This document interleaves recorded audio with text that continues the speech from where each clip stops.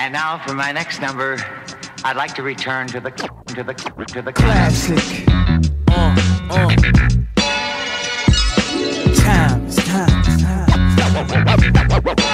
Live straight classic. Classic. Classic. I'm better than I ever been. I rock him, the fiend of a microphone. Phone, yeah. Yo, what's up? This is Nova. Yo, this is Chris. We are from Soul Impact. Alright, um, we started, I started dancing in about, I think 2007, somewhere there. So a little more than 10 years ago. The crew started out as Soul Crew in 2008. It was more like a like a studio's performance crew. Uh, the studio was called Motion Master, and uh, I was like their newest member.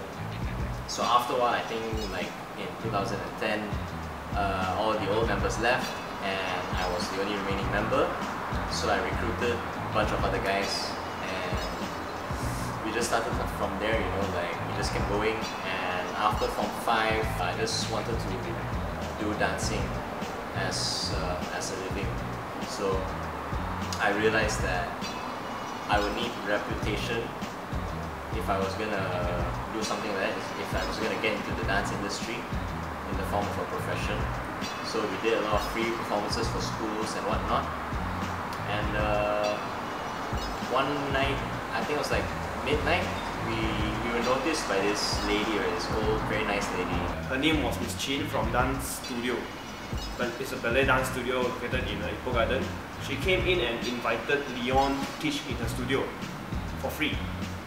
So from there, uh, it developed the classes. And you know, that's when I realized, that's when I found my love for teaching. And I truly wanted to open a studio from there. So we spoke about realizing reputation was the key. And I was approached by another guy to partner up and open up a studio. And yeah, uh, so we opened up the studio in 2000 and, uh, 2013, I think. Four months into it, me and this guy we had a falling out. So after that, I've just been running everything solo. Fast forward to 2017, I would say. Then uh, Nova and me came in as uh, Leon's partner for uh, the Nexus Dance Studio. So by then, the Studio is uh, belongs to three person, which is us. Um, be honest, I'm not really making much as a dancer or a studio owner. Well, b-boying, I would say, is uh, is part of my life now. It's not. It's really not that easy. Uh, yeah. Uh, when we first started in Ipoh, the dancing was really strong, and after that, it still kind of uh, kind of slowed down. But because we, we love this dancing so much, persist on. So uh, it impact in our lives in many different ways. So for me personally, I think that b-boying, uh, hip hop especially, it gives me the strength in whatever I do in life. It helps me in my career. It helps me to focus. it Gives me determination, and uh, it's just a way of life. For me, I think b-boying is more than just a culture, something that you do for fun. For me, it's like lifestyle already because b-boying is somewhat related to hip hop.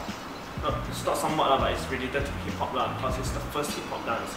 And then um, what b-boying really teach me is how to be real, and also it really impacts on uh, the type of life that I'm uh, going through. Like whatever things that come to me, then I will face it properly.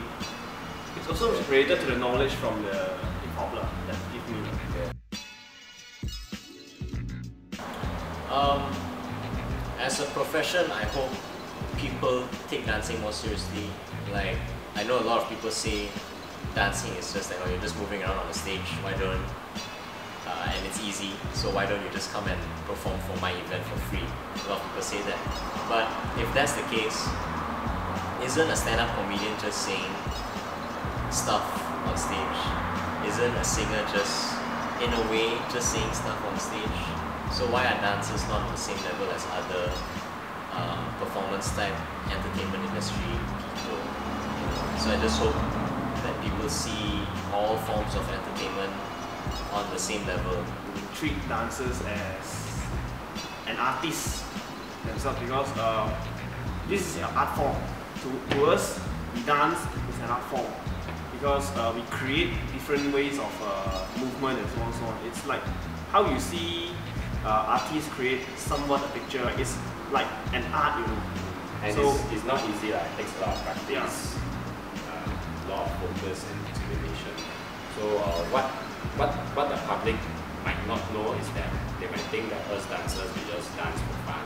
We just simply move our hands and they, uh, sometimes I may think that we don't know what we're doing. But actually we, uh, you know, we are constantly, constantly thinking of how to, you know, how to improve our art, how to be creative dance floor. So all this takes a lot of time and practice. So I would say it's definitely not easy. So we just hope that uh, we just want people to know that uh, we are professional. The right word I would say is professional. Well, I still do this until now because because I can. Fresh. Well, even though I'm not making much, sometimes sometimes it's not about me. I just want to get more people involved in this dance. I wanna I wanna teach people. Well, for me, um, I would say um, when I started, it was uh, all about uh, cool moves. I want to learn more cool moves. And then when uh, it started to be a lifestyle, right, um, I would want to learn more about uh, b-boying, about the history, about uh, who are the creators, who are the uh, OGs, and so on and so on. And then for now, I think it's more to keeping up to our art, lah, I would say. You know, so it's more like a lifestyle already you can't separate da- uh, dance, e-boy and us lah already. It's like part of the lifestyle. Right? Sometimes I feel that without without dancing or without this studio, I I feel like I have lost my identity and I don't really know who I am. Sometimes I enjoy practicing with people. Sometimes I also like to practice by my own, to have my own space. Sometimes that is the best time that I can think and create moves that are more, uh, they are more, they are more me. lah, I would say. Stay in school. Don't do drugs. Stay humble, keep learning, and enjoy the dance lah. Yeah, just keep on dancing. Don't stop. Have fun and practice more. Master your craft.